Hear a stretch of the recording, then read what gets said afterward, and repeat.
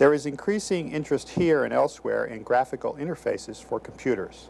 I've been working with computers for the last 20 years, or over 20 years, and started with key punch cards all the way up to uh, today's technology, real-time or instantaneous action. I'm painting here with a tool that I've really always wanted and never had, where I can use a pen to do continuous line drawing going from thick to thin. The varying widths is an incredible advance for me as an artist.